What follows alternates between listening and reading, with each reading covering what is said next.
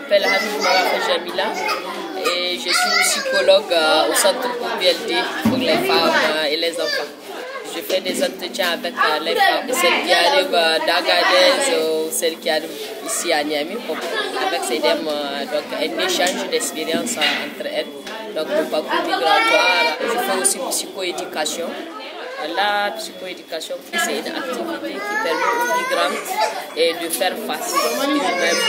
Et chacune d'entre elles, individuellement, parle de comment elle vit une situation, comment ça l'affecte et quelles sont ses stratégies de coping.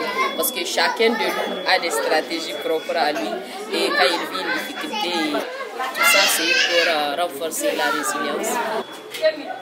Ce que j'aime le plus, le plus, c'est de voir que les, femmes qui arrivent ici traumatisées, déprimées, et qu'elles se sentent vraiment abandonnées à elles-mêmes, qu'elles ne savent plus quoi faire, qu'elles se demandent que leur vie n'a plus de sens, qu'avant qu'elles partent, que je vois en elles le sourire, qu'elles qu'elles soient en train vraiment euh, de reprendre et de vouloir encore se battre encore pour une, pour une vie, pour, euh, pour encore euh, reprendre leur propre vie en famille et vouloir faire face même à cette famille dont elles se disent qu'ils seront rejetés, mais quand même elles disent que je suis, je suis apte à à faire face à tout ça.